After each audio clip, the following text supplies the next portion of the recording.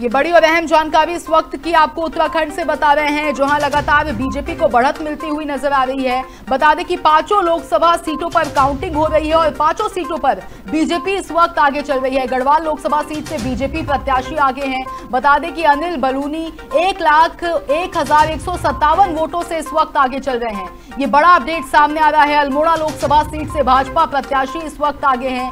बता दें कि उत्तराखंड में पाँच लोकसभा सीटें और सभी पे बीजेपी की बढ़त है। अजय टमटा करीब एक लाख इक्यासी हज़ार वोटों से आगे चल रहे हैं। वहीं नैनीताल उधम सिंह नगर सीट से भी भाजपा बढ़त करती हुई नज़र आ रही है। प्रत्याशी अजय भट्ट दो लाख सत्तर हज़ार तीन सौ बत्तीस वोटों से इस वक्त बढ़त बनाए हुए हैं। हरिद्वार लोकसभा सीट की अगर बात कर ले तो यहाँ भी बीजेपी आगे नज़र आ रही है। बता दें कि प्रत्याशी त्रिवेंद्र सिंह रावत इकहत्तर हज़ार सात सौ छत्तीस वोटों से इस वक्त आगे नज़र आ रहे हैं।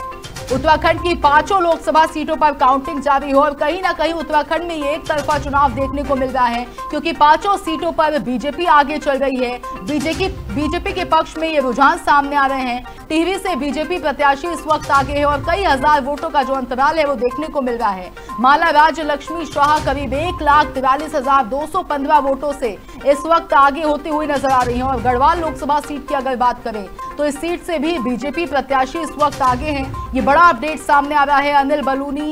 एक लाख एक हज़ार एक सौ सत्तावन वोटों से इस वक्त आगे चल रहे हैं। अल्मोड़ा लोकसभा सीट से भी भाजपा प्रत्याशी बढ़त बनाए हुए हैं। ये बड़ा अपडेट आपको बता रहे हैं। बता दें कि प्रत्याशी अजय टमटा एक लाख इक्यासी हज़ार चौतीस वोटों से आगे नज़र आ रहे हैं। नैनीताल, उधम सिंह नगर लोकसभा सीट की अगर बात कर ले तो यहाँ भी बीजेपी आगे दिख रही है।